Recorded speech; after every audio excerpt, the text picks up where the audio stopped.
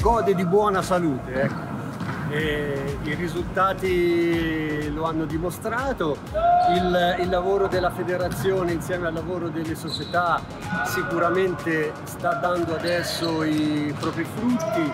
Noi abbiamo tanti giovani molto, molto interessanti, noi come squadra senior li stiamo, li stiamo seguendo, oltre ovviamente al lavoro che stanno, fan, che stanno facendo eh, i vari, i vari allenatori, i vari settori tecnici del, del giovanile.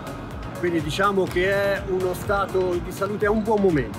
Diciamo che la pallavolo, la pallavolo nazionale, la pallavolo italiana gode di, di, di buona salute, sia maschile che femminile.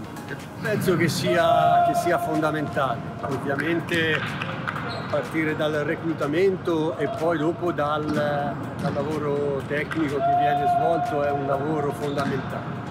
Credo che sia altrettanto importante poi dopo questa prima fase anche dare un seguito, cioè, e mi riferisco al fatto di poter dare, di cercare di dare quanto più spazio possibile ai giovani che si affacciano e che escono dai vari, dai vari settori giovanili, perché sennò poi dopo rischiamo magari di eh, non ottenere appieno i risultati e il, e il, lavoro e non sfruttare appieno il lavoro avviato dai settori. Quindi per quanto riguarda il discorso delle nazionali, ma per quanto riguarda anche i club, è importante che questi giovani, magari che arrivati a, a finire il percorso del giovanile, poi dopo trovino, trovino spazio anche diciamo, in prima squadra. Questa è una cosa molto importante e sulla quale dobbiamo secondo me ancora lavorare un, un tantino più. Ma eh, la pallavolo io, la pallavolo italiana spero che continui su questa direzione.